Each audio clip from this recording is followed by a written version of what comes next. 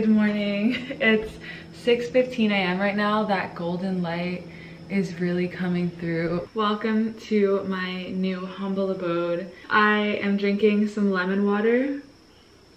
You guys know the routine. I have some laundry in the wash and I'm about to do some yoga and work out a little, but I have a surf lesson at 8 a.m. and then I have a call at 11 and another call at 12 a video that I really need to put some good hours in and hopefully finish today that I've been working on for the past two weeks. And then I am meeting with some friends potentially later. I'm in my new place, my new home.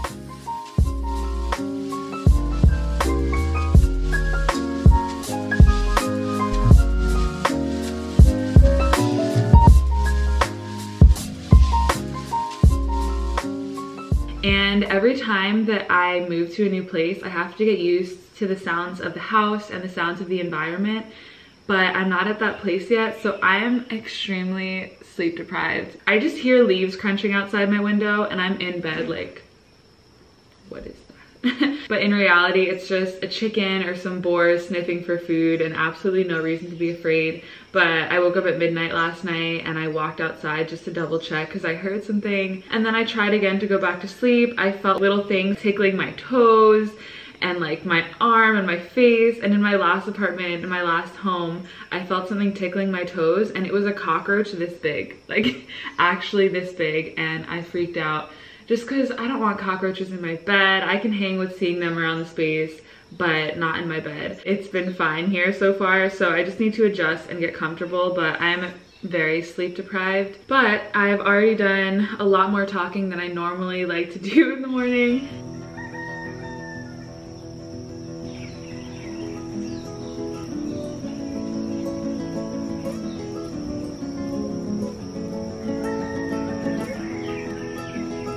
Look for today. I have this secondhand rash guard on from Poshmark and then I'm just wearing some sweatpants that my friend gave me. These are perfect for after surfing because they're so thin and light. Let's go out into the world.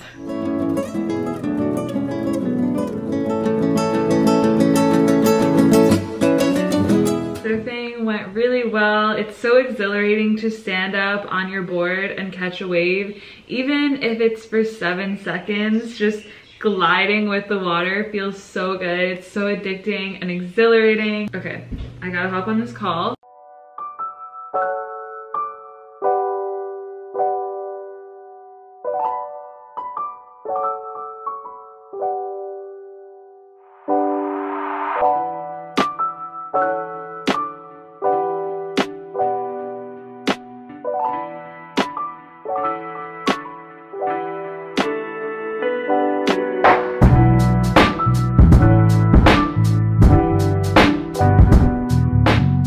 If you saw my last vegan food video, then you know that I really like to pray over my food before I eat it. And I thought that I would let you guys listen in on my prayers today, just so that you can get an idea of what I say. May this food remind me of the depth of love that I am worthy of receiving. May it bring me back to my center and to the conscious witnessing of all things and remind me that I am complete and I am capable and I have so much overflowing love to share with the world.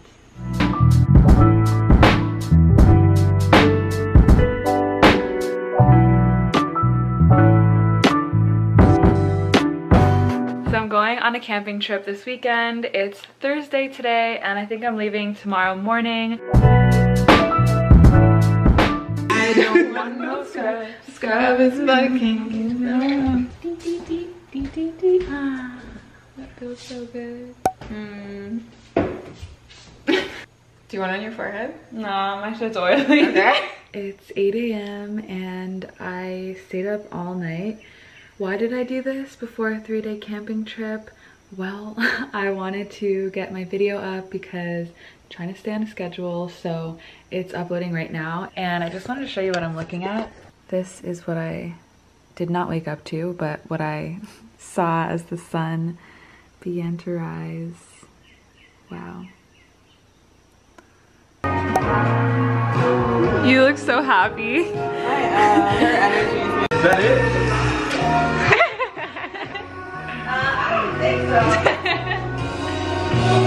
yeah.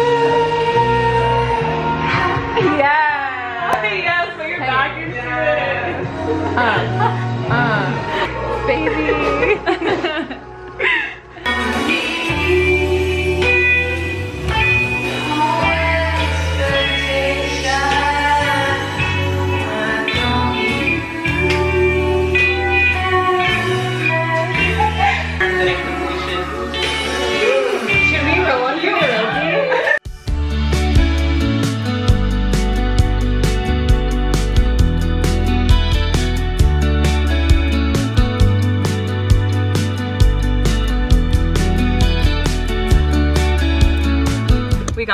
the camping area and we're gonna get some firewood. Firewood. Mm-hmm.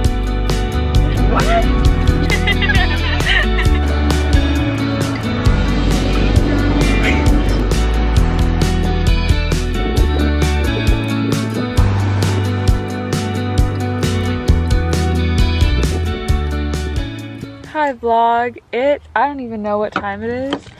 Look, you can literally see the sky like so well on this camera. Wow, La Luna is shining so bright and Diana and I were just talking on the beach and I was falling asleep because it's just so cozy and the air is so still and warm and also because I've not gotten sleep for the past two days. Um, but it's so beautiful and I just can't believe how bright the moon is especially coming from New York. Like I if I'm lucky if I see one star so seeing the moon illuminate everything I could read a book right now under this moonlight and I just feel like I'm on the edge of the universe and just floating in the cosmos and um, it just felt really good to say some prayers. Sorry I'm staring into the viewfinder right now. Let me look at the lens. But it just felt really good to say some prayers and speak so many beautiful wonderful things out and have intentional conversations, really touch those deeper layers within and drop into meditation. So yeah, we're gonna get ready for bed. What else do you have in here? this is like Marissa. And for the cookie. Oh my god, I think they're in the front passenger seat. Did you look there? no, Why are you sad? I don't know. It's okay. Mm. I love having my ear against someone's head when they're chewing, like hearing that. It's like ASMR. ASMR. Auditory sensory meridian response. Let's do it. Mm. Oh.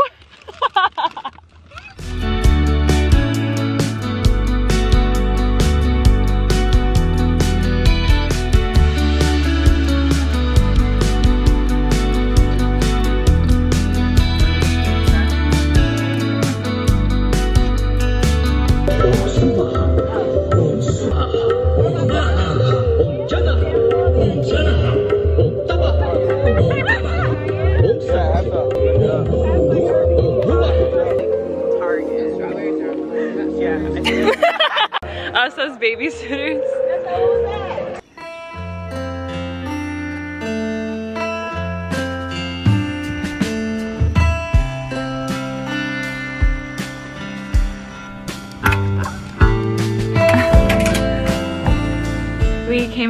from our camping trip and I finally got a good night's rest. You guys, I feel so good. I slept in till 10.30, which was crazy. But this morning, my friend Teddy just dropped off this really sweet beginner board from Costco. I am a beginner and this is my very first board and it's definitely really easy to balance on this and stand up and pop up on waves but I think that it's really important that I just build the confidence and learn how to do different tricks with a board like this. And I'm so excited! Yeah it's a beautiful day. It's a beautiful morning. I know for so many of you it's probably like oh it's so easy for you to say that because look at where you are.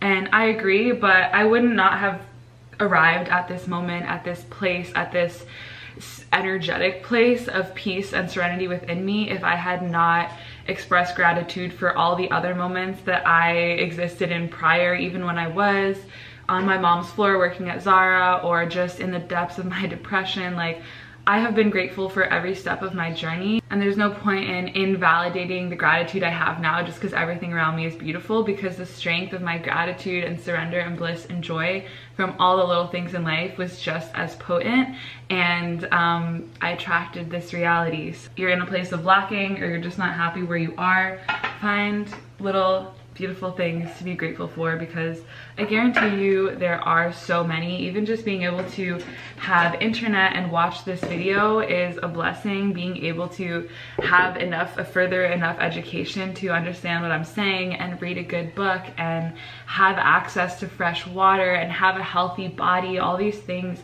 are such immense blessings that not everyone is so lucky to have. And sometimes in the morning, I like to wake up and ask, or I just affirm, how lucky am I? And then then I just kind of like list off all the things I'm so grateful to feel and receive and I'll feel that gratitude deep into my bones. Anything that takes me out of the present moment, uh, it's, it's fully returned when I just realize the fullness of right now and all of the gifts and blessings and yeah, last night I just felt like my guides and my spirits and ancestors are really present and here with me during this time on this island because I've been dropping into such deep meditations and entering the quantum field. If you read Supernatural by Dr. Joe Dispenza, you'll get what I'm saying. But fully just entering a space where I can create everything for the very first time. My dad always does Tai Chi in the mornings. I have like fond memories of just watching him move in this way. And lately I've been getting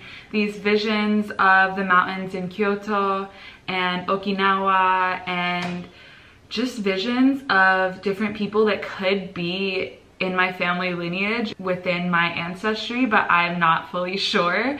And visions of myself meditating, and it almost seems like I'm being called to some sort of journey or quest there, walking on that earth meditating.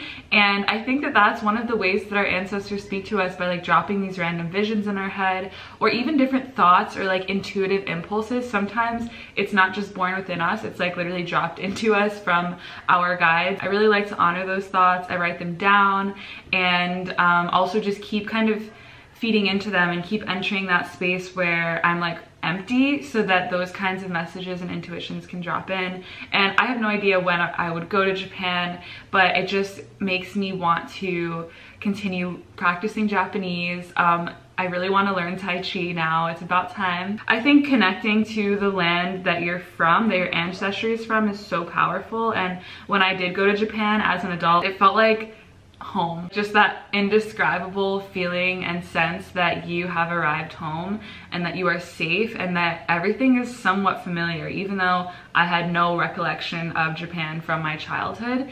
And especially being in Vipassana in Kyoto, it was like so powerful. A few mornings in a row, I heard the loudest monastic chanting voices just chanting om and it was like waves of om and it was so loud in my ear that my ears were almost vibrating and if you know vipassana it's like a silent 10-day meditation so I was like, I almost wanted to ask, like, does anyone else hear that chanting? Like, there must be a monastery or something nearby. And then after I asked my partner, and he was like, I didn't hear anything. We're in the middle of the woods. Like, I don't think anyone was chanting. And it was just so wild and I, I reflect on that a lot because sometimes I'll hear random like chanting in my head only when I'm very in very deep states of meditation I'll be able to just hear like I guess the vibrational frequency of my own body and the things around me with much more clarity. So yeah, I think that there's so much for me to explore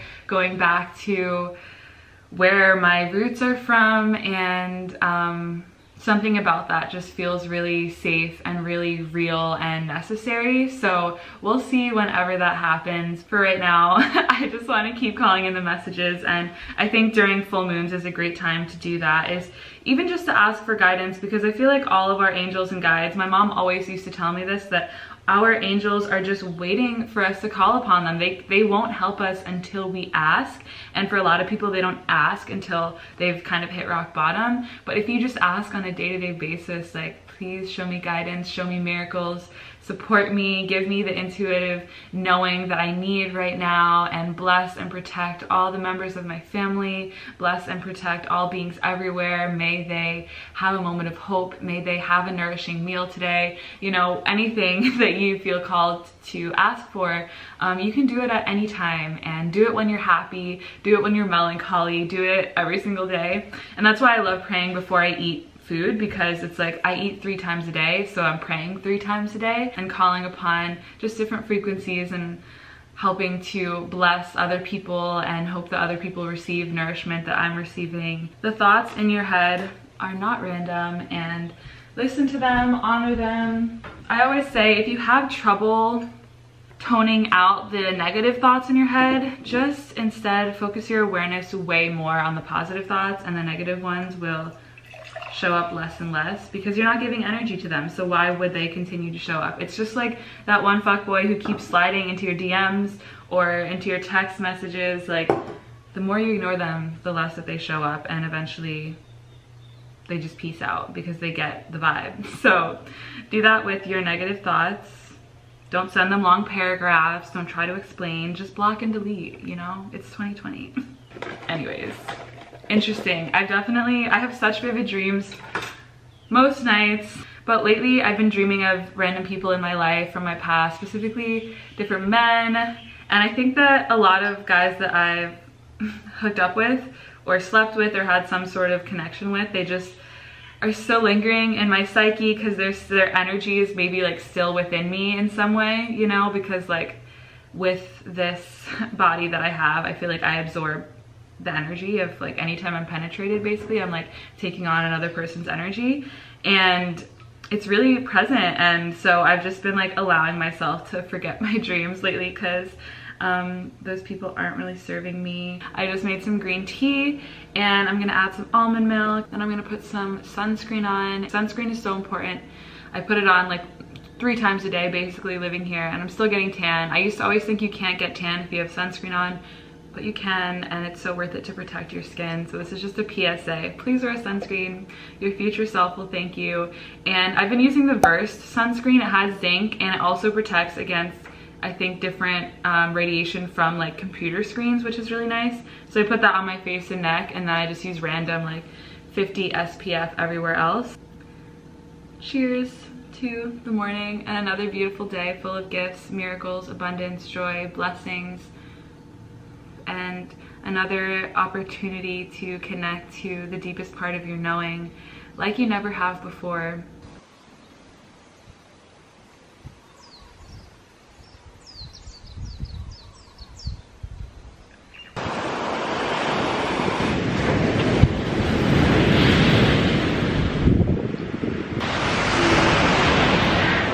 My heart is so full.